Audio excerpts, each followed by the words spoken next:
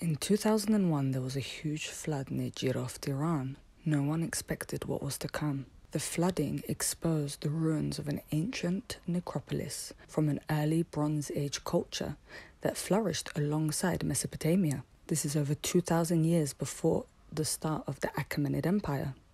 The Jiroft culture is one of the oldest civilizations in the world, completely independent with its own architecture and language. The artifacts found often depict mythological astronomical scenes, and interestingly, females are also depicted. Most of the time, it's a female deity taming wild beasts. Anyone who's a lover of ancient history has often seen these ancient bags represented on reliefs such as Gobekli Tepe in South America and in ancient Mesopotamia. Well, in Jiroft, these actual bags have been found. It's the first known physical representation. The stone tablets they found with geometrical shapes and carvings.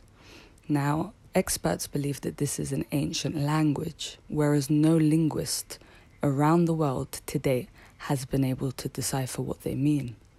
It's a language completely independent from any other language on earth. As you've seen on some of my other reels and on my YouTube page, ancient Iranians built ziggurat structures all over Iran, and Jiroft is no different. Dating back to 2200 BCE, so over 4,000 years ago, Konar Sandal is a ziggurat structure made of over 4 million mud bricks. Much of Jiroft is still unearthed. Excavations have not been widespread. It's estimated that there are over 100 historical sites in Jiroft, spreading across 400 kilometers of land. Did you know about the Jiroft culture?